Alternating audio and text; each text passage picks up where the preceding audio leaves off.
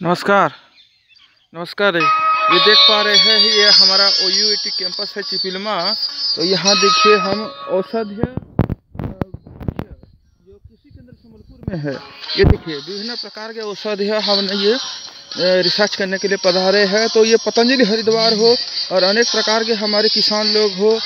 हर गाँव हो, हर गंडा हो, हर पहाड़ हो जहाँ जहाँ जैसे हमारे अनेक प्रकार के औषधीय वृक्ष मिलता है। उसके बारे में और रिसर्च हो चिंतन हो मंथन हो और उसको काम में लगाया जाए और औसत के क्षेत्र में, जड़ी बूटी के क्षेत्र में पश्चिम उड़ीसा को भी तेज रफ्तार से आगे बढ़ाया जाए। बहुत बहुत धन्यवाद। नमस्कार। ये देखिए।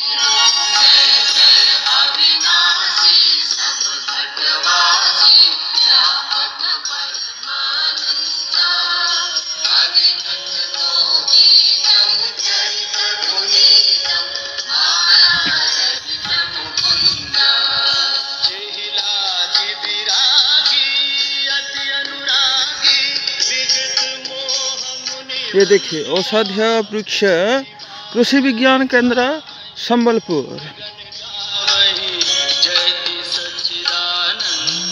धन्यवाद।